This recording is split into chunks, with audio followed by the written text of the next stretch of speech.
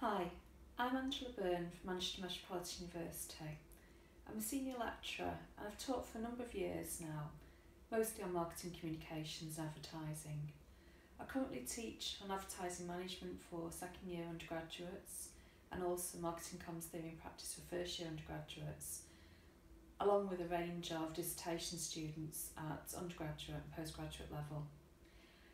I've always liked PR Smith's marketing communications book, and now on the sixth edition, and I kind of find this a very accessible book.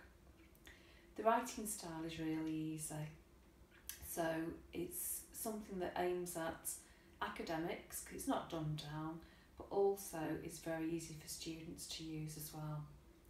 I know it's difficult to get students to read anything nowadays, however, this is something that has lots of diagrams, up-to-date advertisements, using lots of good examples, case studies, and all the data that's used as well is current.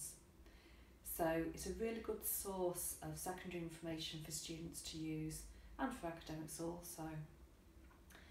The range of content is diverse and it brings all the up-to-date information using digital marketing, social media, big data, any relevant trends and themes that are current as well are integrated really well. They're not really set apart and just added on. They're very much part of the whole themes running through the, the book.